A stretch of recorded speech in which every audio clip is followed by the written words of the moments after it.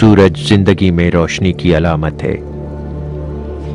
پھولوں کا کھلنا ہو یا فصلوں کی نشو نما، توانائی کا حصول ہو یا روشنی کی تمنا، ہر مرحلے پر سورج ہمارا مددگار ہے۔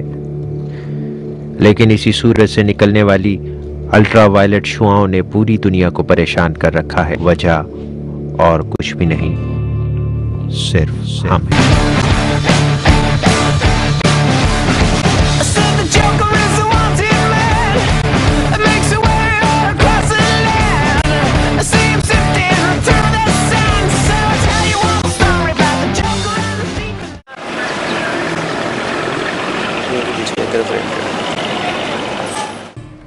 آبادی کے اضافے صنعتی اور معاشی ترقی نے انسان کو پرآسائش زندگی گزارنے پر مجبور کر دیا ہے۔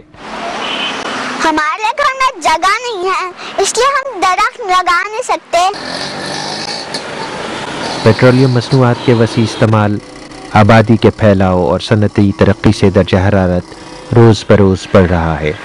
اور فضا میں کاربن ڈائی آکسائڈ کی شرح میں سالانہ اشاریہ پانچ فیصد اضافہ ہو رہا ہے۔ دھواں چھوڑنے والی گاڑیاں ان کے جو مالکان ہیں ان سے میٹنگ وغیرہ کرتے ہیں بلاتے ہیں ان کو اور وہ انہیں بتاتے ہیں کہ ان کو گاڑیوں کو ٹھیک کرواؤ۔ حکومت کو چاہیے کہ وہ لائسنس لینے والے فرد کو اس بات کا پابند کرے کہ وہ ایک درخت بھی لگائے۔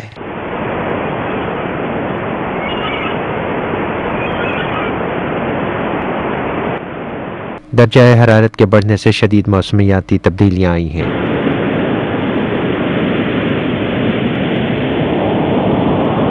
حالیہ برسوں میں جہاں سونامی، کیترینا اور دیگر سمندری طوفانوں سمیت خشک سالی اور برسات کے موسم میں تبدیلی رونما ہوئی ہے، وہاں بہت سے جانوروں اور پودوں کی سینکڑوں انواع بھی معدوم ہو رہی ہیں۔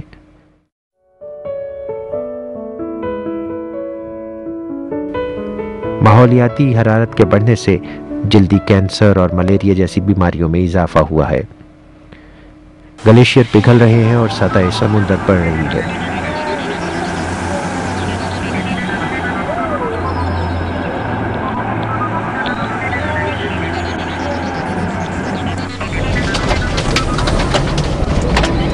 اس ماحولیاتی تبدیلی سے پاکستان بھی نہیں بچ سکا اور شدید مشکلات کا سامنا کر رہا ہے۔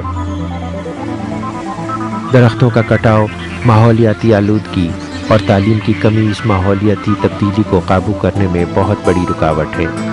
ساڑھے تین پرسنٹ کے قریب پنجاب میں جو ہے نا اب وہ جنگل ہے اور پاکستان لیول پہ آ جائیں تو پانچ پرسنٹ کے قریب۔ درجہ حرارت کے بڑھنے سے فصلوں میں خاطر خواہ کمی ہوئی ہے۔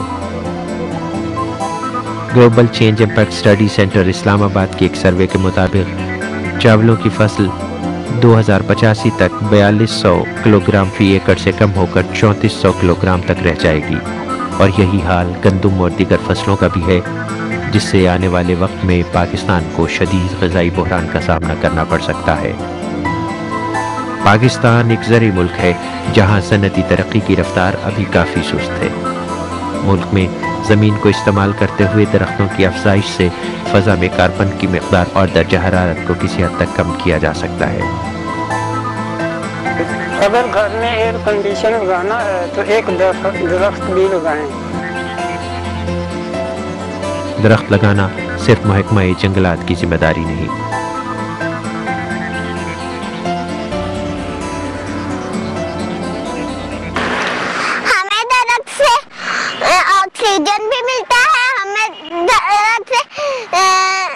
ہڈی بھی ملتی ہے ہمیں درخت سے فروٹس بھی ملتے، ہمیں درخت سے لکڑیاں بھی ملتی ہیں۔